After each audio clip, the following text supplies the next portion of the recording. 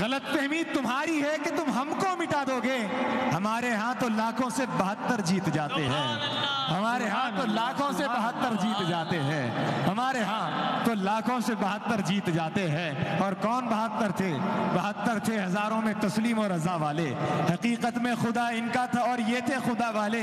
किसी ने जब वतन पूछा तो हज़रत ने फरमाया, मदीने वाले कहलाते थे, अब है करबला वाले। मदीने वाले कहलाते थे, अब है